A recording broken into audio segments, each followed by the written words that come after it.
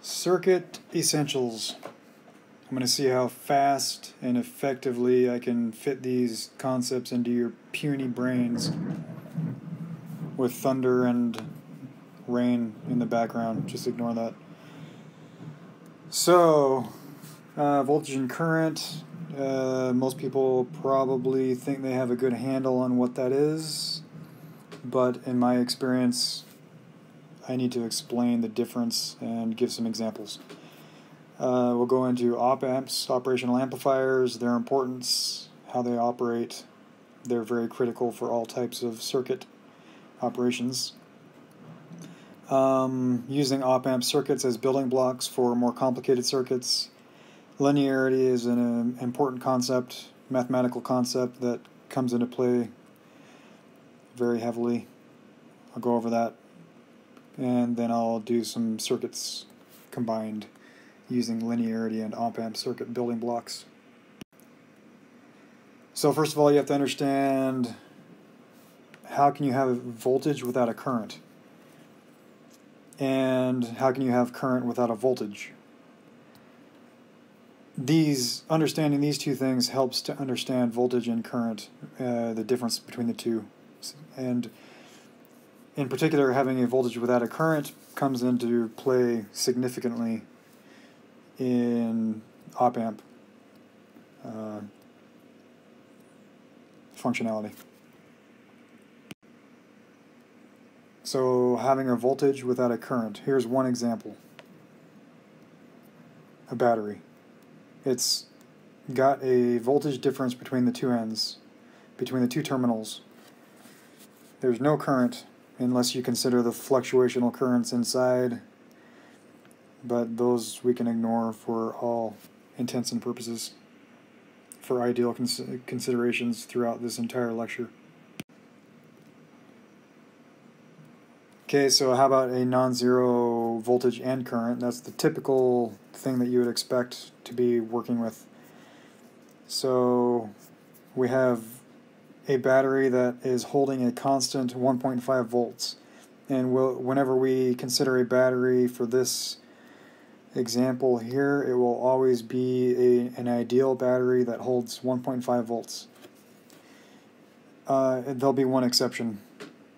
It'll come up. Uh, the current always goes in the opposite direction of the electrons, thanks to Benjamin Franklin.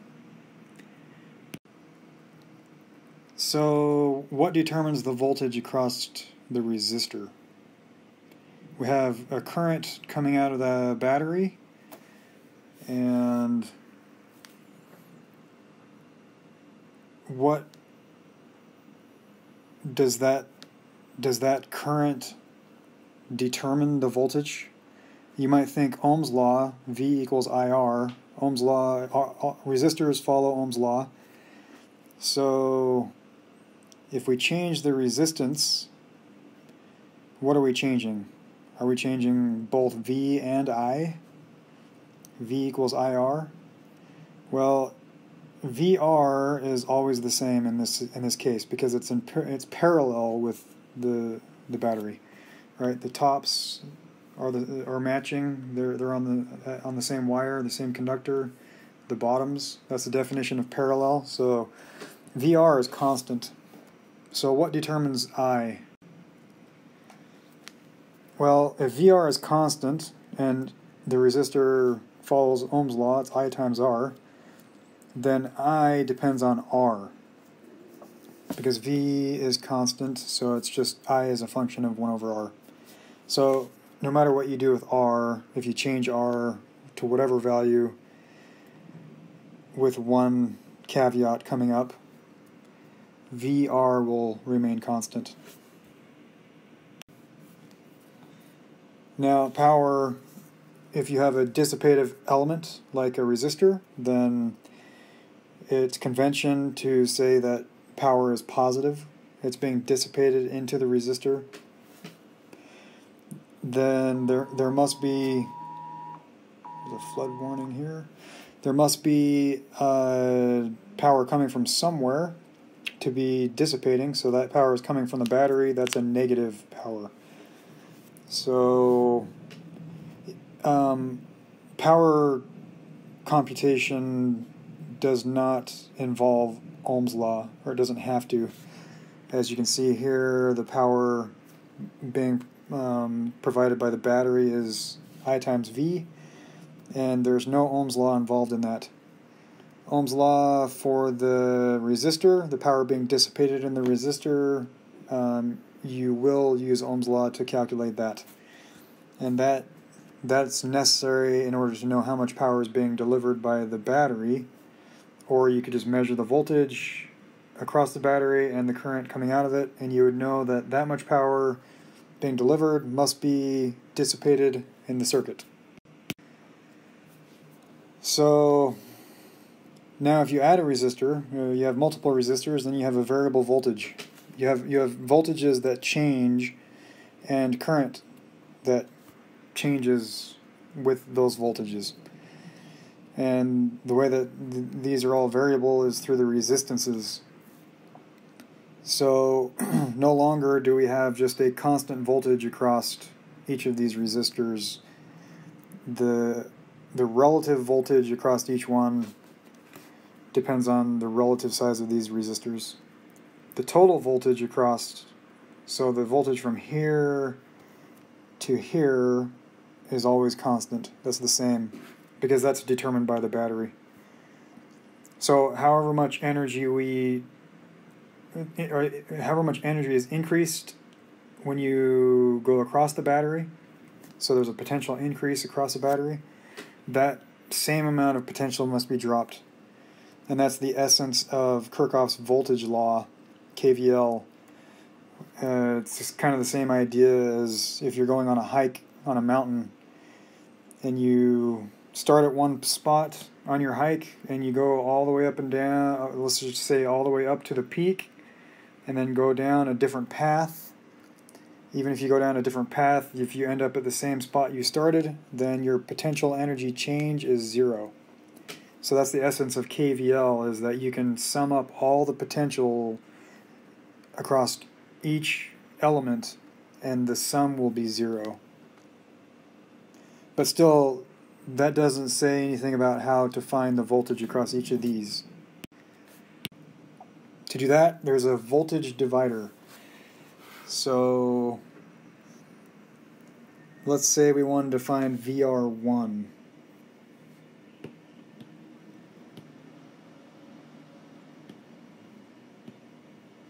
VR1 equals, using Ohm's law, it's IR1, but we don't know what I is yet.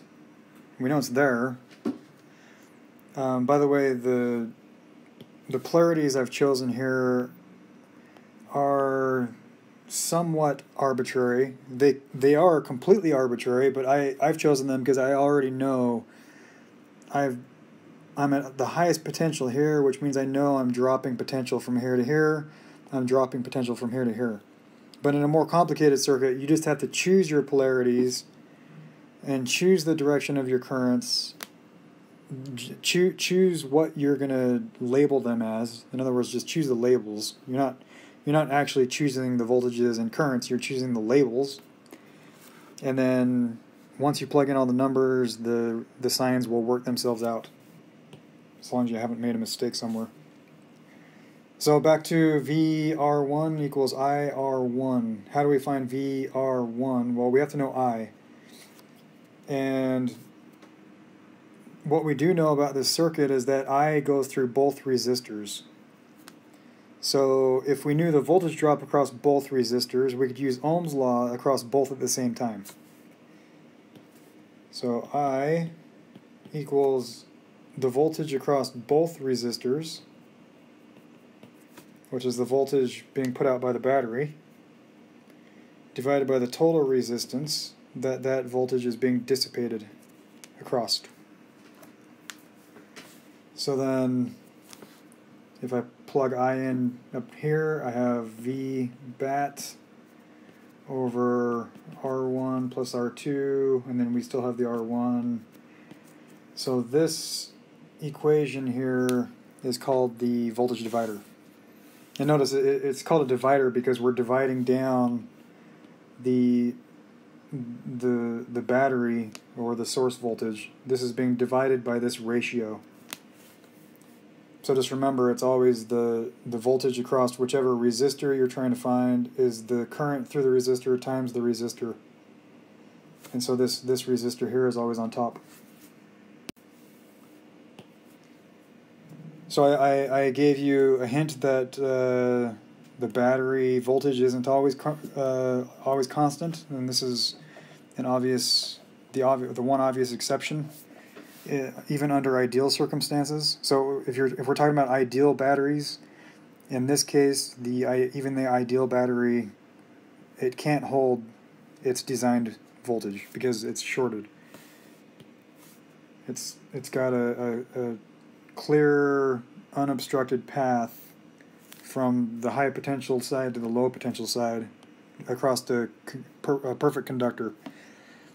So it's shorting across the resistor, the voltage is zero, and the battery is going to burn out. There's going to be infinite current, essentially, being pulled out of the out of the battery and it's going to get hot. So if you if you've ever connected the uh, terminals of a 9 volt battery, you'll notice that after a few minutes it'll get hot and it causes fires or can cause fires.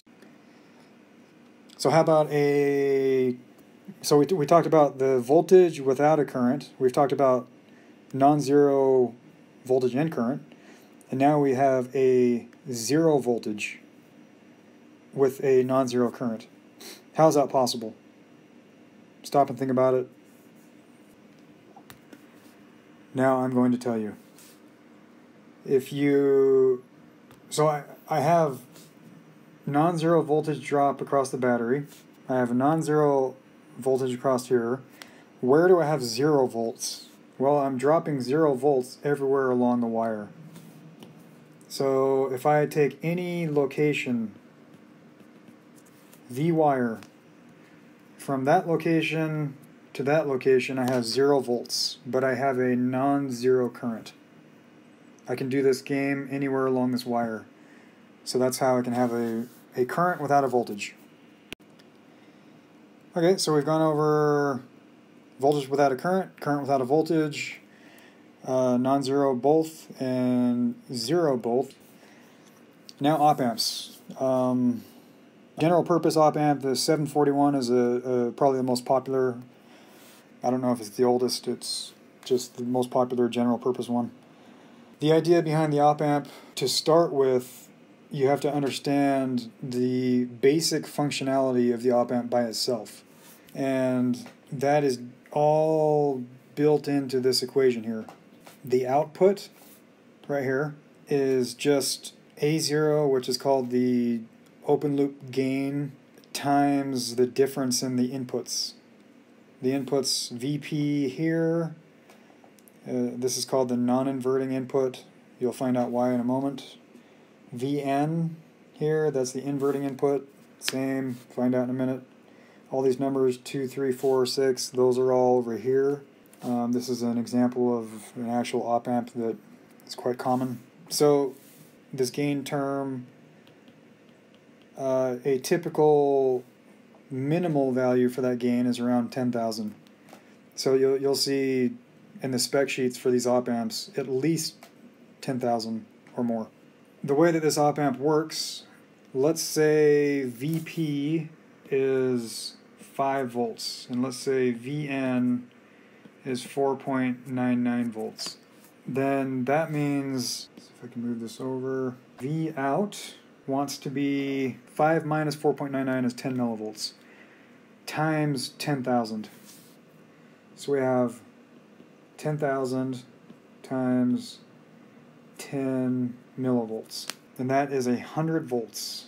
So it wants to be 100 volts, but I don't have 100 volts to work with. I have the supply volts, the supply values here. And typical supply voltages are something like 15 minus 15 or, or 9 plus minus 9 whatever so this 100 volts is obviously not going to work If we design it to, to expect 100, we're only going to get 15. So it rails out. That's what it, uh, these are the supply rails, plus and minus 15, or whatever the, the, they're the highest voltages, the highest and the lowest voltage in the in the circuit. They have to be. You're, you're always going to design your circuit such that these are the highest and lowest voltages. So your inputs, you don't want them to be any higher or lower than those values. So it's just going to hit 15 volts for any small difference in the inputs. What about if this is 4.99 and this is 5? So now it's going to be the same 10,000 and now we're going to have a difference of minus 10. So this, this wants to be minus 100 volts. And of course it's not going to hit minus 100 volts because we don't have that much to play with. It's going to hit minus 15. It's going to rail out at minus 15. So if I look at, if I just say here we have VP and here we have VN, then my output V out everywhere VP is bigger than VN, my output is going to rail out to the positive plus rail, in this case 15 volts. And then anywhere VP is smaller than VN, it's going to rail out at minus, minus the negative rail, and so on and so forth. So it's always just this square wave. That's how that's that's how this op amp wants to work by itself. You're never going to design this around zero.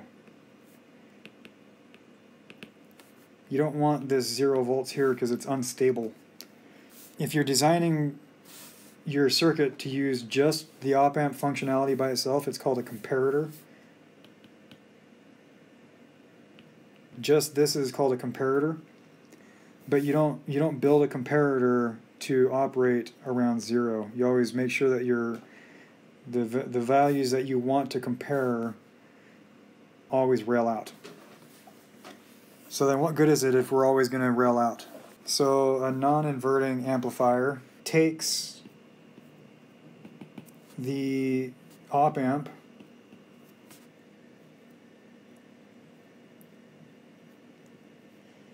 and it puts a input. Let's call this VP here. These are all resistors, if you can't tell. We have an input voltage source on the plus side, the non-inverting side. You get the hint, it's going to be non-inverting. The, the trick to analyzing these circuits is to realize that you never have current going into the op amp on the inputs. So these are always zero. Call this Vn. So with those being always zero, if I take and arbitrarily label a current going this way, I, I could have labeled it going the other way, it doesn't matter. Like I said, just choo choose a direction and go with it. The numbers will work themselves out, positive or negative, however they're supposed to, based on the values you choose. So if I have current here, how do I solve this circuit? Well, I have VO. Let's draw this as a, a regular circuit looking thing. So Vout is acting as an ideal source. It's, it's just supplying power coming out of its output here. it's not connected to anything yet. It just has this has this negative feedback and, and I'll discuss in a minute why this is so critical. This feedback from the output to the VN, the inverting input. So this op amp is acting as an ideal source right here at the output. So if I follow V out, go across RF, then this node here is this node here. So that's my I'm going to label that as VN. Then to ground, I have RS. And this current, if I if I label it the same way as that, it goes like this.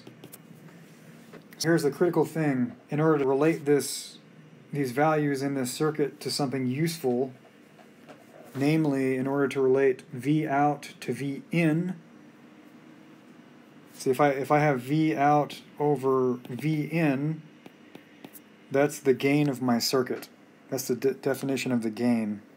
However much you put in, multiply it by the gain, that's how much you get out. So I, I need to find this relationship. With with this with this circuit drawing here, I can I can find a relationship between V out and Vn. But I need to make a relationship between Vn and Vn somehow.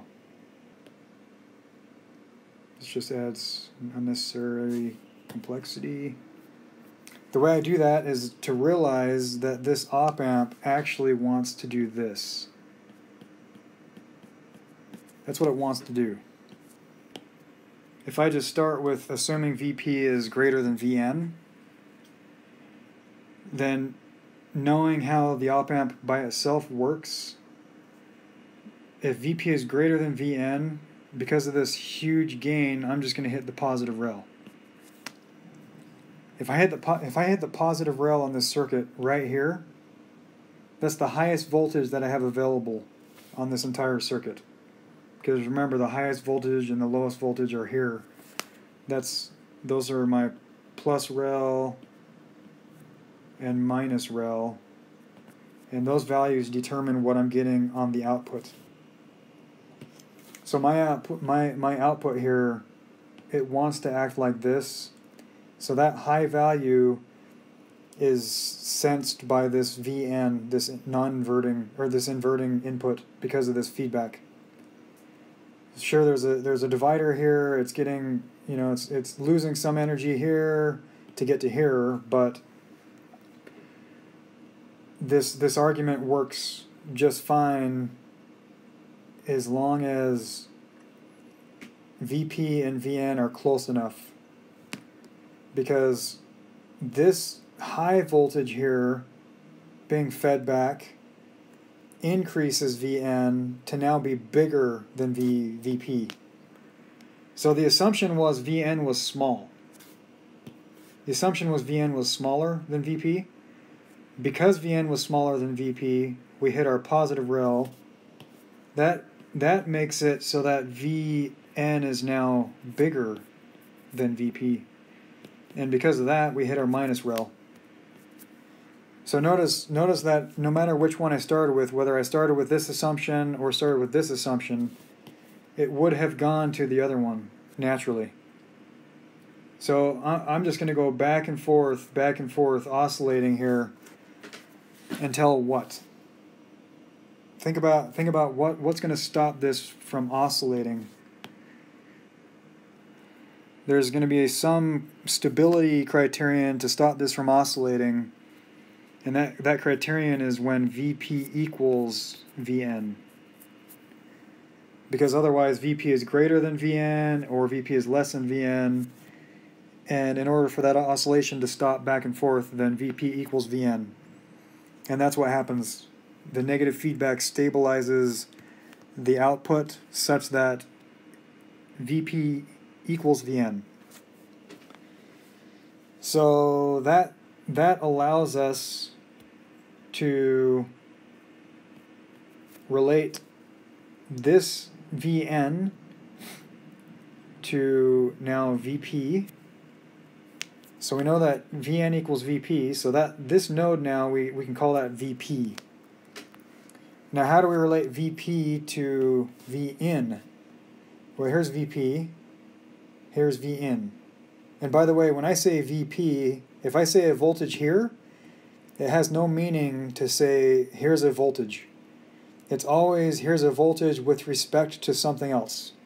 Voltage at this location with respect to another location. So voltage here with respect to ground. That's always that's the definition of a node voltage. So anytime you're looking at a circuit and somebody puts a, a, a probe somewhere and says, what's the voltage here? It means here with respect to ground. here with respect to ground, whichever these are these are all the same common ground. So all these voltages are all with respect to ground. Vn is with respect to ground, Vp, v, V0. So if I if I have no current here, remember the inputs don't accept a current. I have no current across this resistor. According to Ohm's law, if I have no current across the resistor, then I have no voltage dropped across that resistor. I have no energy lost across that resistor because there's no current. so that means my Vp equals Vin. So let's use another color. Vp equals Vn. So now we can relate V in to V out through through this circuit here. Well, V in, the voltage here with respect to ground, is across this resistor. That's the voltage across RS. So looking at looking at this current through both resistors I'm trying to find the voltage across one of the resistors. That's, that's what I just did before the voltage divider.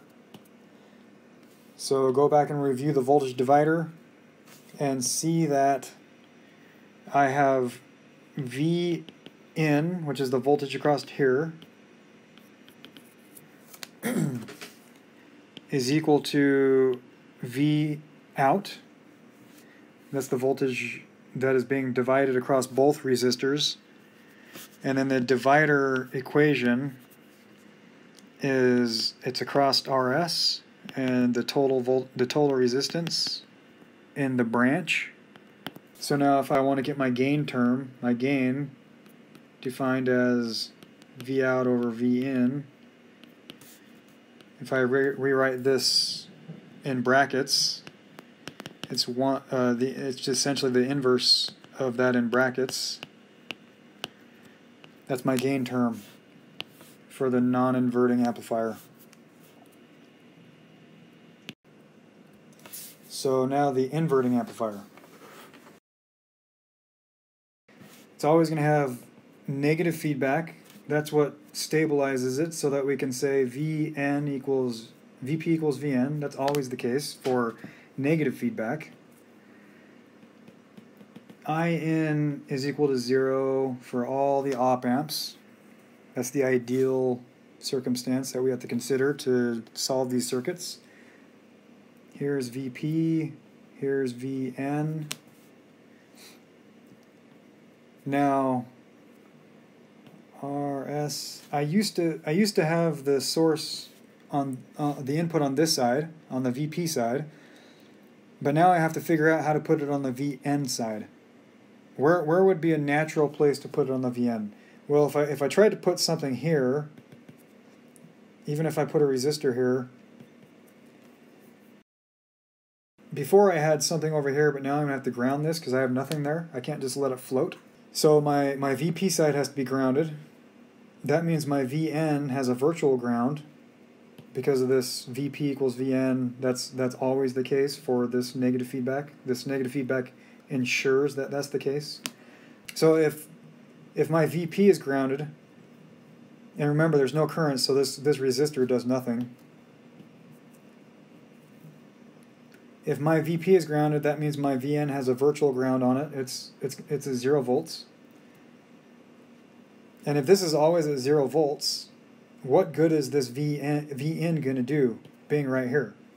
This is always zero volts. So no matter what happens here, there's nothing happening here. So this does nothing. So this has to be gone here because it would do nothing right there. And same thing over here. If I put if I tried to put this guy on the output, then my input would be tied to the output. That would be stupid. So it has to. The only other place that it could be is right here. So now let's let's do the same analysis we did before. Uh, draw an arbitrary current. I I know that my current has to go down it, it there's no current going in into my inputs, so that's it doesn't branch off. So if I if I draw this as starting with V in, I have V in, I go across RS, that gets me to this node, which is the VN node, across RF, and that gets me to V out. And of course, these are all Vn is the voltage relative to ground or common. Same with V out. It didn't have to be that way. I mean, it could have, this Vn could have arbitrarily been floating somewhere, but then we would have had to redefine what it meant to be V, uh, the voltage right here with respect to ground, because that's what we're trying to find the relationship between V out with respect to ground relative to something else with respect to ground. So we're going to find an effective way of writing some voltage with respect to ground anyway. So we have Vn equals Vp equals 0 volts because it's grounded. It's got a virtual ground, so we're just going to add that right there. If I follow the current, it, it starts at V0, goes like this, and like that. Notice that this current goes through this node. It goes directly through this node, and you never get a current going into the ground. It's easy to see that that current only goes through this, so that, that node is the same as this right here. It's easy to see that this node doesn't go, I mean, it doesn't have any current branching off anywhere else. But what I'm talking about is because this is grounded, this is virtually grounded.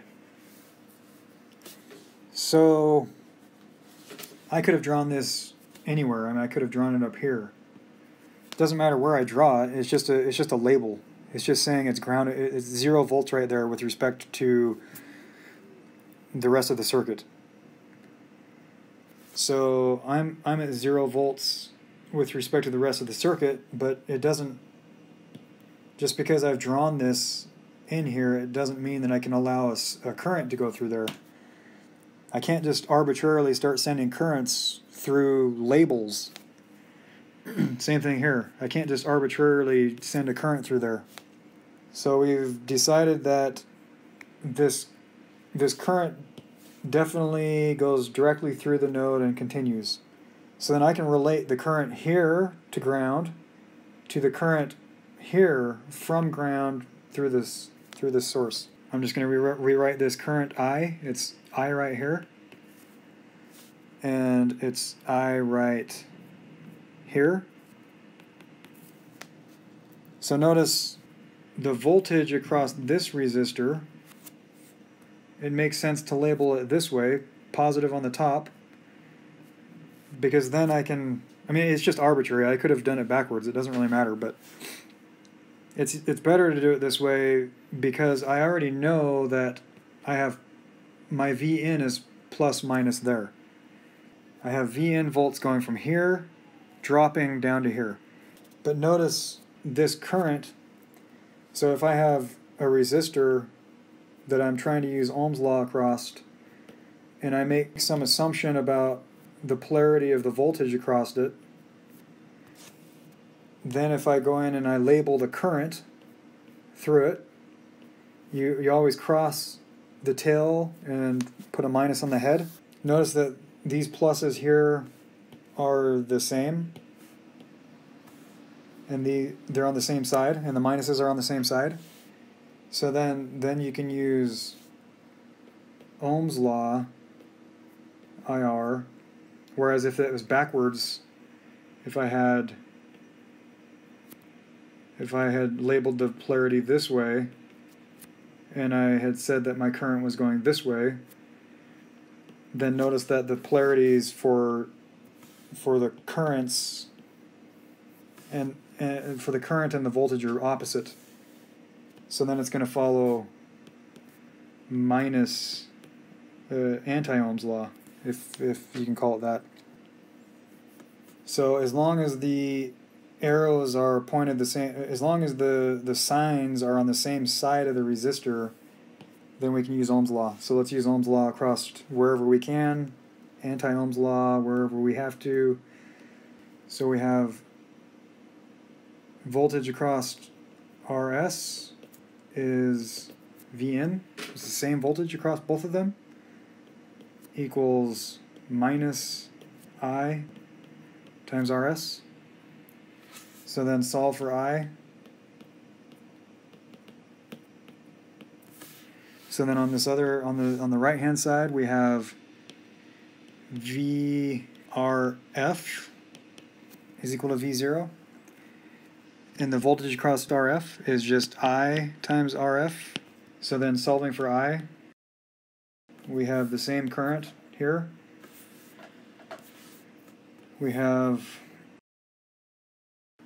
so that's our inverting gain term. What use these have in general. So let's say you have an input that looks like this, then the inverting amplifier, let's say you have a gain of 3. The inverting amplifier is going to amplify this by 3 and invert it. And then the non-inverting is obviously the exact same idea, but it's just not inverted.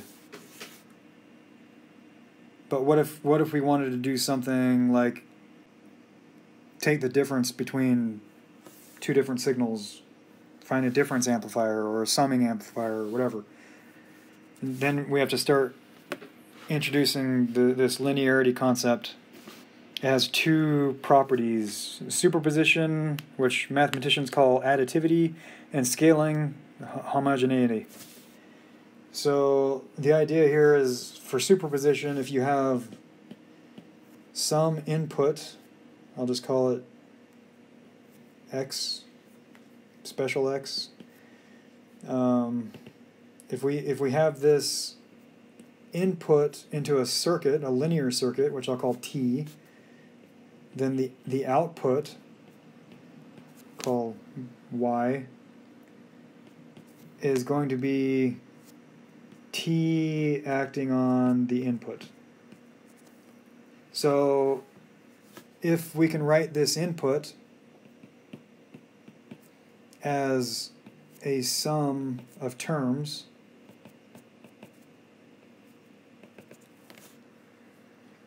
And if we can if we can act on each one of these terms individually such that this y ends up being the transformation of each one individually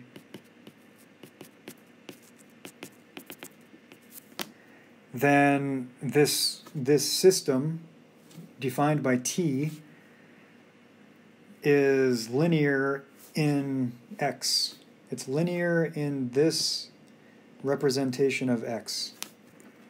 It's linear in these components, the x0, the x1, and so forth. So the way that I've decomposed this, it's linear in that. So what we're going to be looking at is cases where, say, this x0 is V0, some, some voltage source, and say this is I1, and and then V2 and I3, whatever, then whatever whatever sources we have driving the circuit, if the circuit is linear in those sources, then it's just going to be the the the output due to each one of those individually.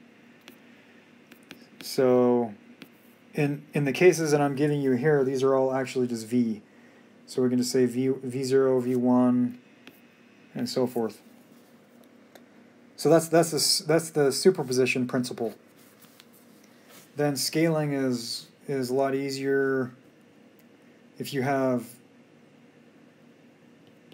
if you have x is equal to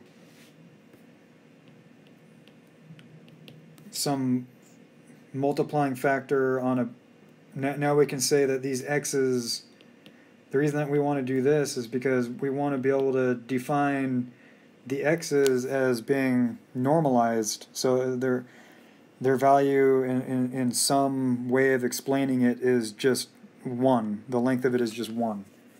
So then, then we can define the amplitude of each of these x's in the k's instead of in the x's themselves.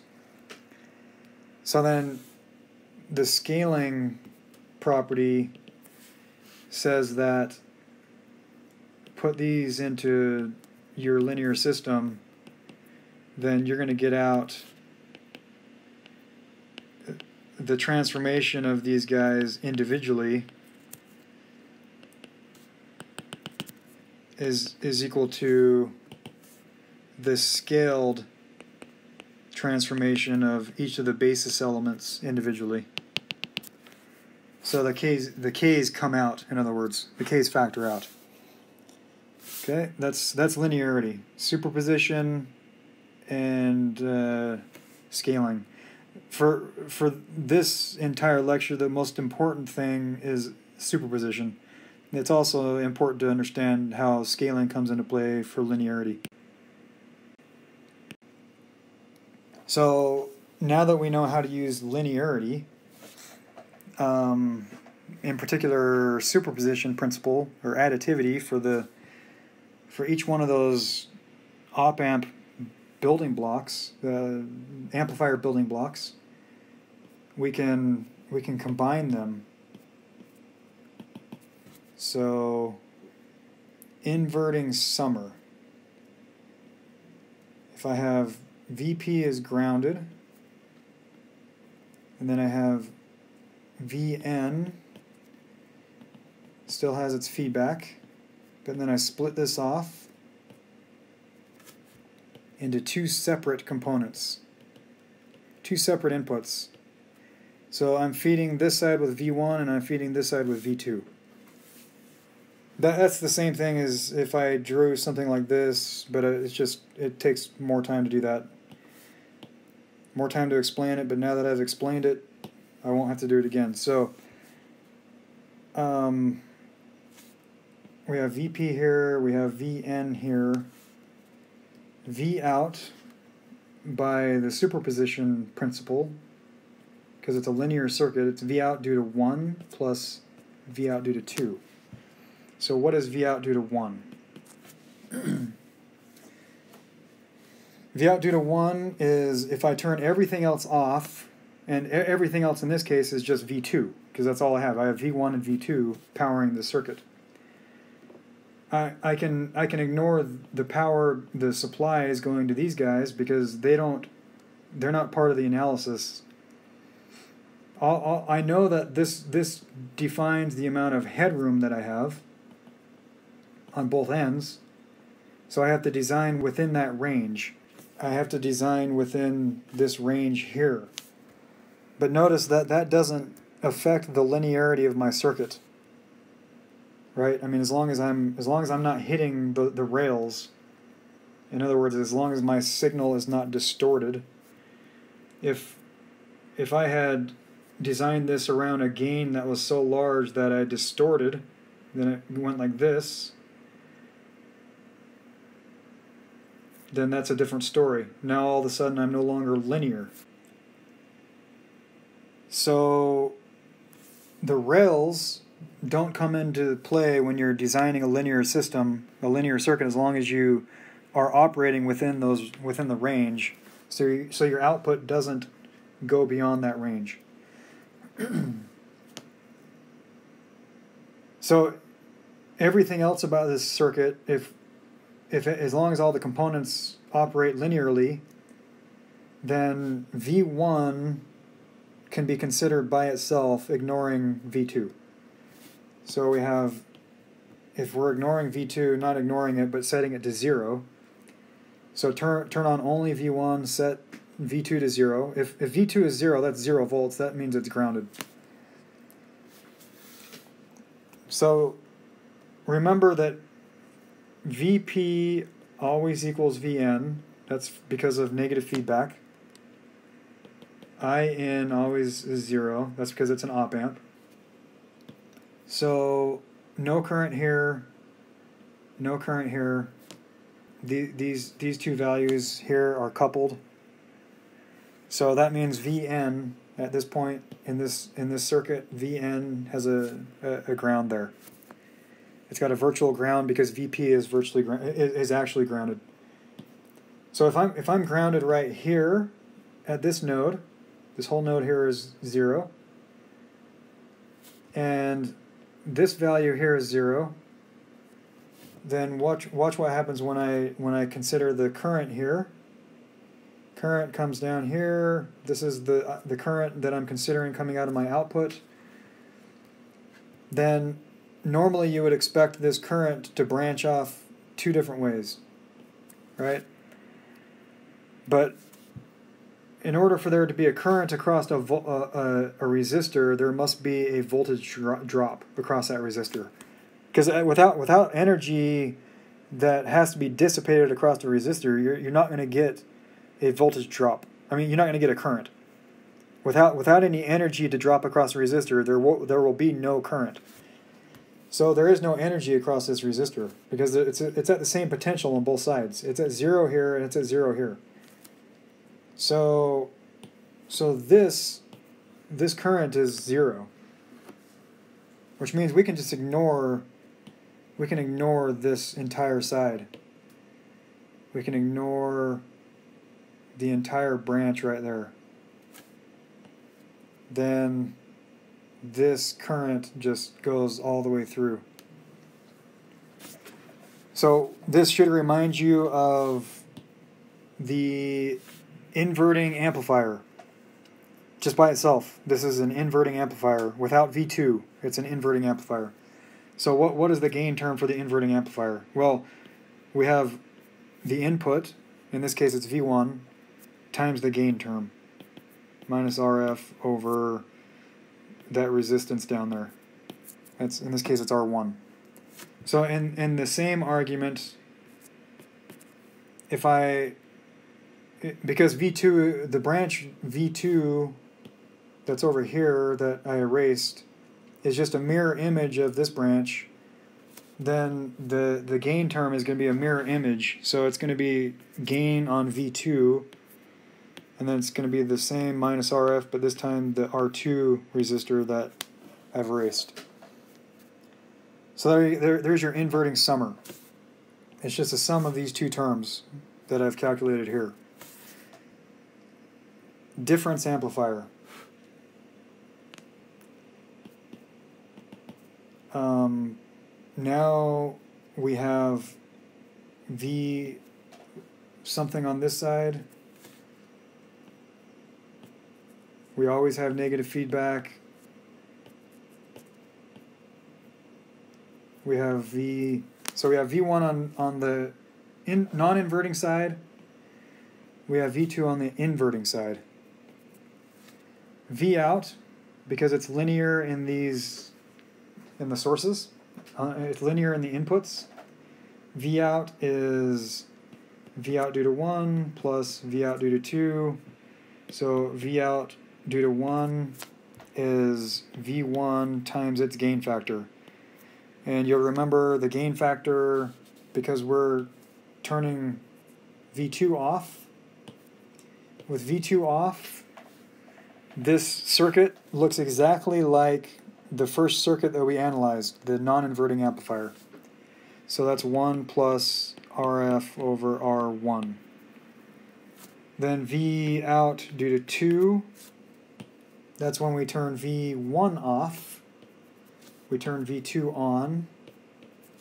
With V1 off, we're grounded there, and this is identical to the inverting amplifier. So it's V2 minus RF over R2.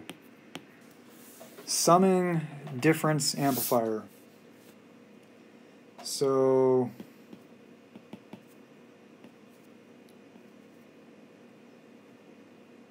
we're going to sum the inputs on both locations and we're going to find the difference between those V1, V2. So VP, it's a linear circuit. It's linear in the in the sort in the inputs, so I can give it a VP due to 1 plus VP due to 2. And there's also VP due to 3 and 4, but those are 0. VP due to 3 plus Z, VP due to 4. Because when whenever V uh, only 3 is on, then this then this VP node is grounded. And when only V4 is on, the same thing. So then we have Vn here. Remember Vn, we have we have Vp always equals Vn for negative feedback. V out is V out due to 1 plus V out due to 2 plus V out due to 3 plus V out due to 4. Let's do V out due to 3 first and 4 because those are a little easier. If I turn everything off except for V3, that means th this node here is grounded.